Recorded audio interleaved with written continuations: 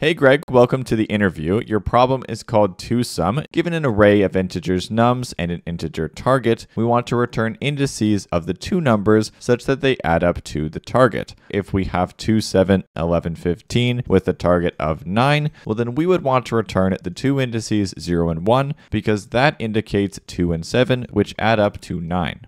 Okay, cool. Well, I definitely start with getting n is equal to the length of the numbers, and then I would do two nested for loops. So for i in the range of n, for j in the range of i plus 1 to n, then if nums at i plus nums at j, if that's equal to the target, well then we found our answer. So we just want to return those two indices, which would be i and j.